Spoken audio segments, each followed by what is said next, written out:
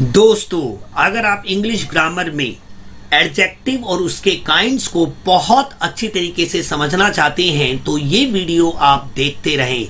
नमस्कार दोस्तों, मेरा नाम है विक्की और मैं आपका अपने यूट्यूब चैनल विक्की की पाठशाला में स्वागत करता हूँ। और दोस्तों, अगर आप इससे पहले के वीडियोस देखना चाहते हैं, ये पंद्रहवीं वीडियो है, चौदह वीडियो देखना चाहते हैं तो आपको आई बटन पे एक प्लेलिस्ट मिलेगी, वहाँ पे जाके आप देख सकते हैं। चलिए अब बिना टाइम जाया कि हम अपना वीडियो स्टार्ट करते हैं। और सबसे पहले हम जानते हैं कि आखिर ये एडजेक्टिव क्या होता है, इसकी डेफिनेशन को समझते हैं। तो इसकी यहाँ पे मैंने डेफिनेशन लिख रखी है कि एडजेक्टिव्स आर दोज वर्ड्स और group of words that are use to describe और क्वालिफाई ए नाउन और pronoun they also give us some additional information about the noun अब इसे हम हिंदी में कैसे बोलेंगे?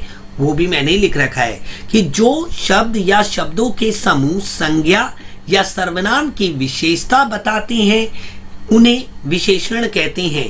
ये हमें संज्ञा के बारे में अतिरिक्त जानकारी भी देते हैं। तो मेरे दोस्तों, आपको ये बात याद रखनी है कि एडजेक्टिव ऐसे शब्द या शब्दों के समूह को कहते हैं जो संज्ञा या सर्वनाम की विशेषता बताए, पहला काम, और दूसरा काम की संज्ञा के बारे में ये कुछ अतिरिक्त जानकारी दे। इस डेफिनेशन को समझने के लिए मैंने आपके लिए कुछ एग्ज़ाम्पल लिए हैं, उसको पहले हम देखते हैं। तो देखिए, पहला एग्ज़ाम्पल है हमारा। राम एक ईमानदार व्यक्ति है। राम एक ईमानदार व्यक्ति है।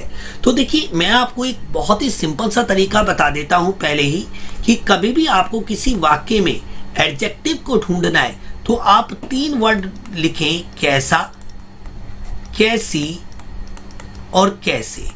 इन तीनों से आप एक क्वेश्चन पूछें, जो भी इसका आंसर आएगा, वो आपका एडजेक्टिव होगा। जैसे कि इस सेंटेंस में से मुझे विशेषण को ढूंढना है तो मैं बोलूँगा, राम एक कैसा व्यक्ति है? तो आंसर आएगा, ईमानदार। तो ईमानदार हमारा क्या है? विशेषण। इसे इसे हम इंग्लिश में कैसे लिखेंगे? Ram is an honest person. तो Ram is an honest person, ये जो ऑनेस्ट है ना ये ऑनेस्ट और ईमानदार, ये दोनों ही हमारे एडजेक्टिव हैं। क्यों? क्योंकि ये राम या फिर इस पर्सन यानी व्यक्ति की विशेषता को बता रहे हैं। हम इस चीज़ को ऐसे भी कह सकते हैं कि राम एक बेईमान इंसान है। ईमानदार एक अच्छाई है, बेईमान एक बुराई है। पर उन दोनों को ही हम क्या कहते हैं? क्वालिफाई करना, या डिस्क्राइब करना। यानी बहुत ही सिंपल सी बात है मेरे दोस्तों, कि जो भी शब्द या शब्दों के समूह किसी संज्ञा या सर्वनाम की विशेषता बताते हैं, भले वो कोई गुण हो, भले कोई अगुण हो, या फिर किसी संज्ञा के बारे में कुछ अतिरिक्त जानकारी देते हैं, उसे हम क्या कहते हैं दोस्तों?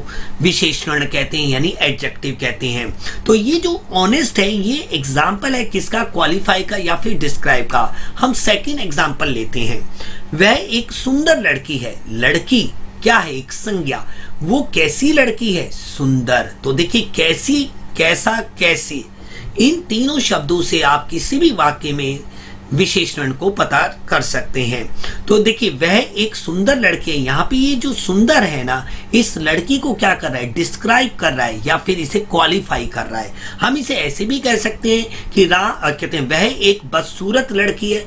तो सुंदर या बदसूरत दोनों ही विशेषता है। और विशेषता बताने वाले शब्दों को ही हम क्या कहते हैं? एडजेक्टिव कहते हैं। इसे हम इंग्लिश में कैसे लिखेंगे? आप देखिए कि she is a beautiful girl तो ये जो ब्यूटीफुल है ना, ये जो ब्यूटीफुल है, ये क्या है? सिंपल सी बात है कि ये एडजेक्टिव है। तो कैसा, कैसी, कैसे को हम इंग्लिश में क्या कहेंगे? हाउ हाउ से जो आपको आंसर मिलेगा, वही आपका क्या होगा? एडजेक्टिव होगा। सिंपल सी बात। दूसरा एग्ज़ाम्पल लेते हैं, तीसरा। मेरे पास पर्याप्त धन है। अब देखिए, पहले दो एग्ज़ाम्पल में ऑनेस्ट और ब्यूटीफुल ये जो दोनों विशेषण थे, ये संज्ञा की क्या बता रहे थे? विशेषता बता रहे थे, या फिर सर्वनाम की विशेषता बता रहे हैं। बट ये तीसरा जो एग्ज़ाम्पल है, यहाँ पे आप देख सकते हो कि धन, जिसे हम पैसा यानी मनी कहते हैं, जो कि क्या है? एक संज्ञा है। यहाँ पे ये इसकी कोई विशेषता नहीं बता रहा है। उसके बारे में कुछ जानकारी दे रहा है कि मेरे पास पर्याप्त धन है। पर्याप्त धन। तो यहाँ पे आप देख रहे हो, ये जो पर्याप्त है, ये संज्ञा के बारे में जानकारी दे रहा है। तो जो भी शब्द संज्ञा के बारे में जानकारी देते हैं, कुछ अतिरिक्त जानकारी देते हैं एडिशनल इंफॉर्मेशन देते हैं, उन्हें भी हम क्या कहते हैं, मेरे दोस्तों? एडजेक्टिव कहते हैं। तो एडजेक्टिव के दो काम होते हैं। एक, संज्ञा या सर्वनाम की विशेषता को बताना।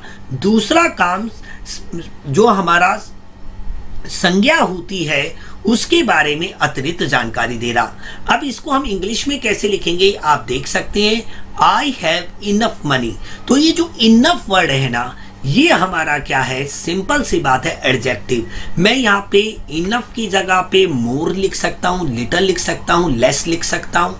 तो जितने आई हैव सम मनी तो मैं सम भी लिख सकता हूँ सम तो आप ये देखिए कि जो भी मनी के बारे में कुछ जानकारी देना तो वो ही शब्द हमारे क्या होंगे? विशेषण होंगे।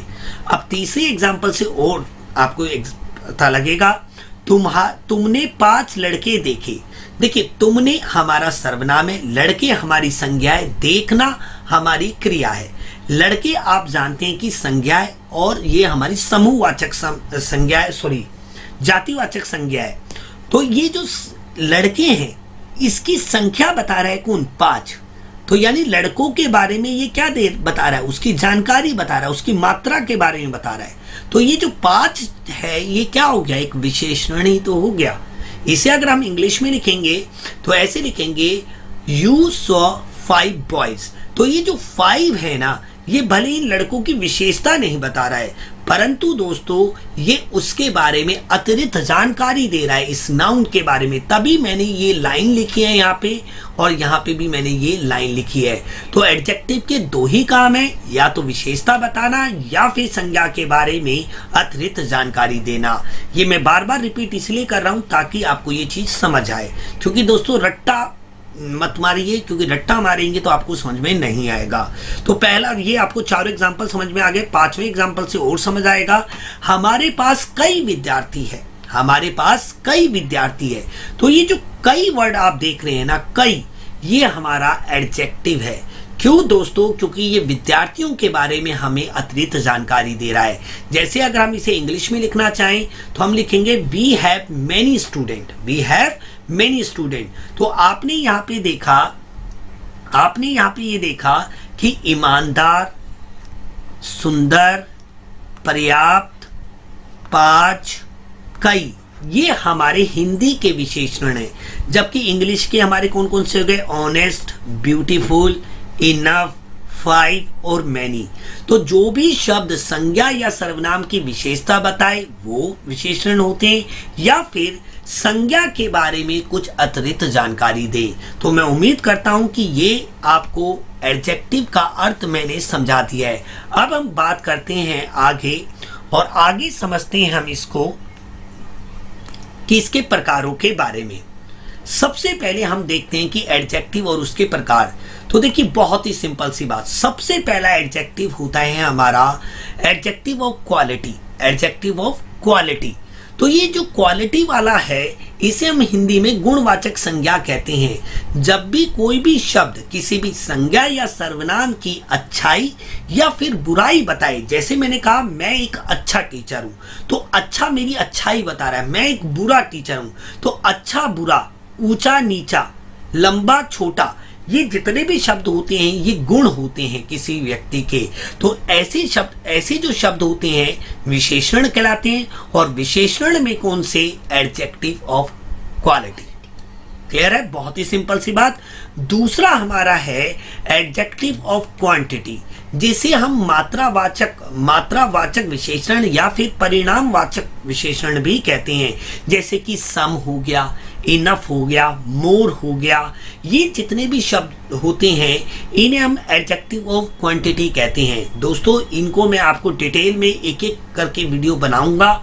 बहुत सारे एग्ज़ाम्पल के माध्यम से समझाऊँगा।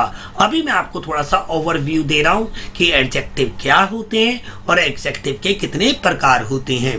तो आपको क्लियर सी बात, पहली बात क्लियर हो गई कि एडजेक्टिव ऑफ़ क्वालिटी होता है, जो अच्छाई और बुराई बताते हैं। और एक होता है एडजेक्टिव ऑफ़ क्वांटिटी क्वांटिटी में आप याद रखना कि ये मात्रा बताता है किसी भी संज्ञा या फिर किसी भी सर्वनाम की। बहुत ही सिंपल सी बात है। इसके बाद होता है हमारा तीसरा एडजेक्टिव ऑफ़ नंबर, जिसे हम संख्या वाचक विशेषण कहते हैं। जैसे मैंने कहा आई हैव हंड्रेड रुपीज़ तो रुपीज़ हमारा क्या है? सिंपल सी बात है, हमारी संज्ञा है और रुपीज़ के आगे क्या लगा है? हंड्रेड तो हंड्रेड क्या है? एक नंबर है। जो कि संज्ञा के बारे में क्या बता रहा है, विशेष मतलब उसके बारे में कुछ अतिरिक्त जानकारी दे रहा है। तो वो कौन सा एडजेक्टिव कहलाएगा? एडजेक्टिव ऑफ़ नंबर कहलाएगा। तो देखिए, तीन तो बहुत ही सिंपल है। कहते हैं adjective of quality adjective of quantity और एडजेक्टिव ऑफ़ नंबर ये तीन तो बहुत ही ज़्यादा सिंपल से हैं। इसके बाद देखिए चौथा हमारा आता है मोस्ट इंपॉर्टेंट बहुत ही ज़्यादा इंपॉर्टेंट है डेमोस्ट्रेटिव एडजेक्टिव जिसे हम संख्या संकेत वाचक विशेषण कहते हैं। जैसे कि दिस दैट दिस दो सच ये हमारे विशेष है। जैसे हम बोलते हैं this boy is my friend that girl is my girlfriend तो ये जो दिस दैट दीज दो वर्ड होते हैं या सच होता है, ये हमारे डेमोस्ट्रेटिव एग्जेक्टिव कहलाते हैं। और डेमोस्ट्रेटिव प्रोनाउन भी होते हैं। जब मैं इसका वीडियो बनाऊँगा तो उन दोनों के बीच में आपको डिफरेंस बहुत अच्छे तरीके से समझाऊँगा।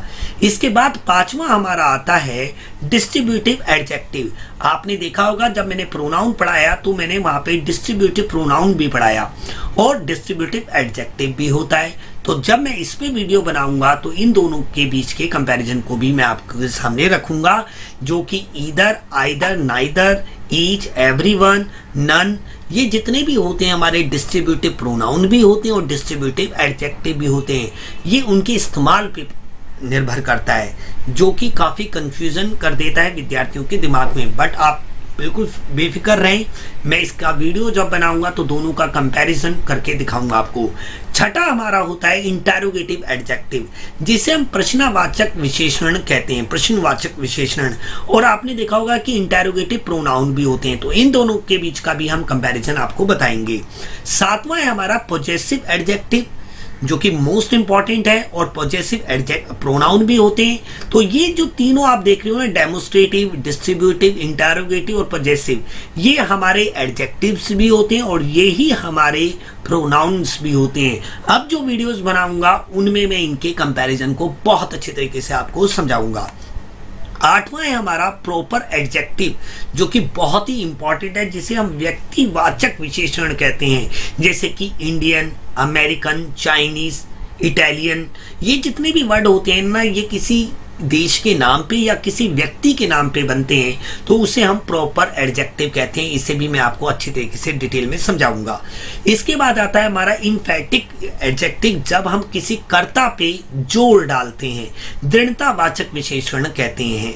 तो ये हमारे नु टोटल एडजेक्टिव हैं, जिन्हें मैं एक एक करके आपको बहुत अच्छी तरीके से समझाऊँगा। दोस्तों दोस्तों, मेरी आपसे रिक्वेस्ट है कि इस सीरीज़ में ज़्यादा से ज़्यादा लोगों को जोड़ें, ताकि मुझे मोटिवेशन मिले और मैं आपके लिए बहुत जल्दी जल्दी वीडियोस बनाऊँ। मिलते हैं अगले वीडियो में। जय हिंद, जय भारत।